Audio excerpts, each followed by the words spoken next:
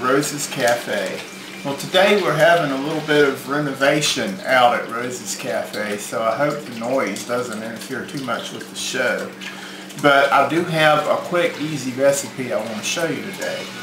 I love to eat well but sometimes after a long day at my day job I'm just too tired or maybe too lazy to cook something really complicated. Well, Rose has come to my rescue by providing me with some quick, easy, satisfying, and probably some healthy recipes that make me feel like a world-class chef in under 15 minutes. And here's a good one. Today we're going to make Rose's shrimp and broccoli. The first task we have is to heat some butter and oil, tablespoon of butter and tablespoon of oil in a skillet.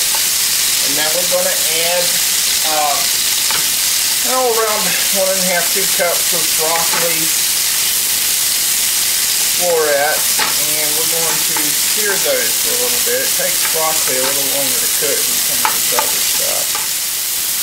Now the broccoli's just about ready. Notice it's changed uh, to a bright, brighter green color. We don't want to get it really cooked through. We want to leave it kind of crunchy. So we're about there, so we're going to set this aside. And we're going to return our skillet to the fire. And we're going to add uh, a couple of tablespoons of sesame oil. And to that we're going to add one bell pepper that was cut up into strips and about a tablespoon of crushed red pepper flakes.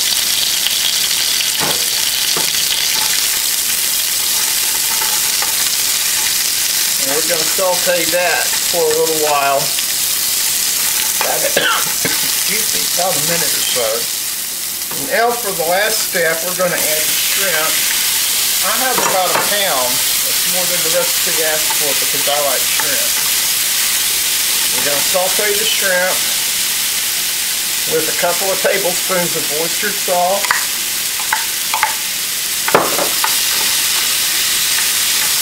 And we're also going to return to broccoli at this point. Now we're going to saute all that together until the shrimp is nice and pink and curly.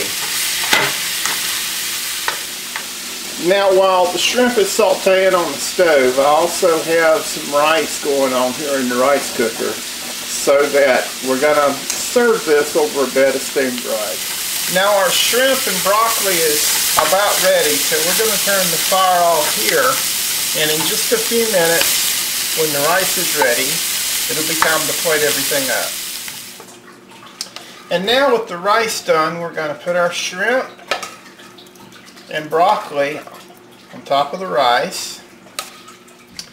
And now with the shrimp in place over the rice, we're going to garnish that with some sunflower seeds some shelled and salted sunflower seeds. And if you don't have that, you could use some peanuts. And a few slices of spring onion. And there we go. And there you have it, Rose's shrimp and broccoli, ready to eat. Thanks for stopping by today. Be sure to join us next time here at Rose's Cafe. Bye now.